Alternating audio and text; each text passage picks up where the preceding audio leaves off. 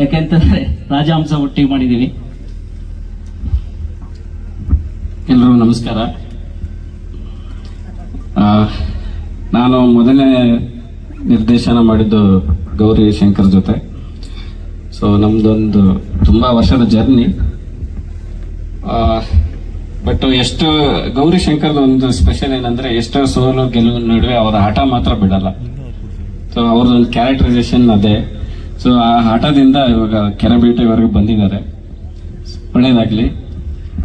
ಆ, ಕೆರೆಬೇಟೆ ನೋಡಿದ ತಕ್ಷಣ ನನಗೆ ಅನ್ಸಿದ್ದು ನಾನು ಇತ್ತೀಚೆಗೆ ಒನ್ ವೀಕ್ ಇಂದ ಅದೇ ಹೇಳ್ತಾ ಇದ್ದೀನಿ ನೆಲದ ಕತೆ ಅಂತ. ಮತ್ತೆ ಕಾಟೇರ ಪ್ರೆಸ್ ಮೀಟ್ ಅಲ್ಲೂ ಹೇಳಿದೆ.